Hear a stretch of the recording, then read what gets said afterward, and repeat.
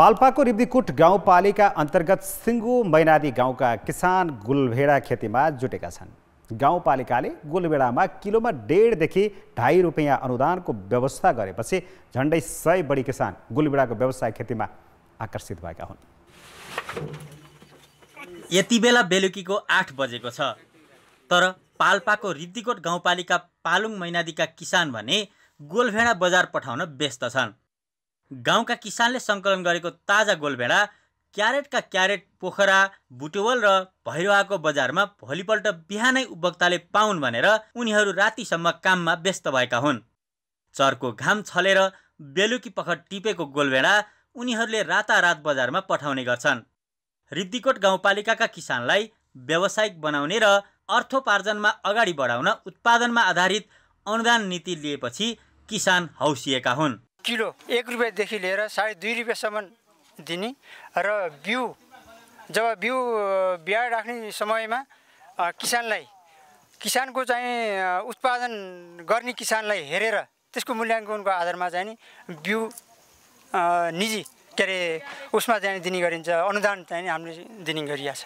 गाउँसभाको निर्णयअनुसार किसानलाई सहकारी र समूहमा सङ्कलन गरेको उत्पादनका आधारमा अनुदान दिने नीति लिएको छ।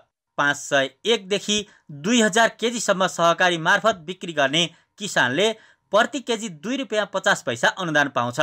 दुई हजार एकदेखि पाँच हजार केजीसम्म उत्पादन गर्नेले दुई रुपियाँ र पाँच हजार केजीभन्दा माथि उत्पादन गरी बिक्री वितरण गरेमा एक रुपियाँ प्रति केजी अनुदान पाउने कार्यविधि बनेको छ।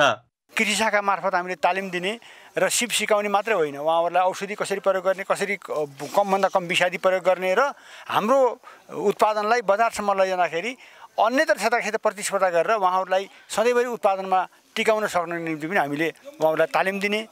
अघिल्लो वर्ष दुध गोलभेडाका लागि कार्यविधि बनाएको गाउँपालिकाले यस वर्ष पुनः फलफुल र मासुका लागि अनुदान दिने व्यवस्था गर्दैछ।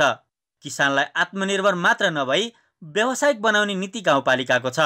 कृषकहरूले उत्पादन गरेका अन्य कृषिजन्य उत्पादनमा पनि अनुदानलाई विस्तार गर्दै जानुपर्छ र कृषकहरूलाई बढीभन्दा बढी व्यावसायिक बनाउनुपर्छ।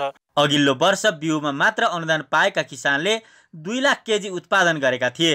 यस वर्ष दुई लाख पचहत्तर हजार केजी पुर्याउने योजना बनाएका छन्। यहाँका किसानले जस्तै अन्यत्र पनि व्यावसायिक तरकारी खेती गर्ने वातावरण स्थानीय तहले बनाउनु आवश्यक छ। कान्तिपुर समाचारका लागि माधव अर्याल रिब्दीकोट पालुङ मैनादी पाल्पा।